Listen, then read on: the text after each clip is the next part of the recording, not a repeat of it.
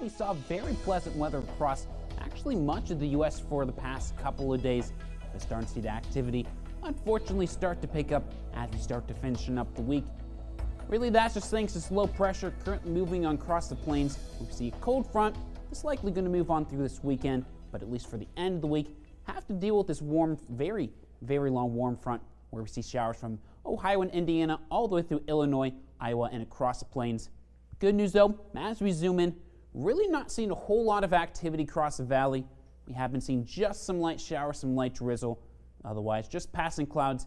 And really, the big story for at least our day today and tomorrow is going to be this warm front. So, bring us some cloud cover, but it's going to continue to warm our temperatures up from where we were in that chilly range in the 50s over the weekend, then back into the 60s the previous days, likely into the 70s both today and tomorrow before we cool back down to the 60s thanks to that cold front and even possibly drop into the low 50s as we end the weekend and start next week. So once again, it's going to feel pretty chilly, but it's also going to look gloomy as well. I expect to see more in the way of sunshine today, tomorrow. Just can't rule out that light stray shower, mainly north of I-70 this morning, but really most of rain comes after sunset Friday, so expect scattered showers throughout the day Saturday. Sunday, just a few spotty showers, and really by the time we get to Monday and Tuesday, anything we should see is just those lake effect stray pop-up showers. So most of us remain dry to start next week, just can't rule out a light shower or some drizzle.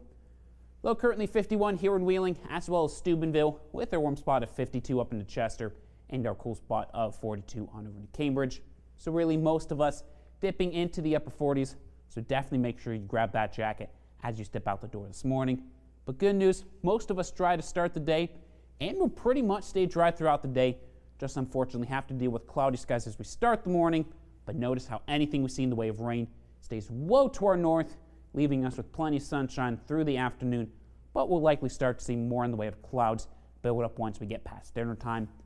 So sunshine will allow us to warm up to just about 72 here in Wheeling, with our warm spot of 74 down to St. Mary's, but a few spots north like Millersburg through Chester, thanks to that cloud cover, and a few showers will get stuck in the upper 60s for afternoon today. Tomorrow, though, should be very nice as well. Everyone should see plenty of sunshine, just a few clouds early in the morning, but everyone likely will see our temperatures getting back into the 70s.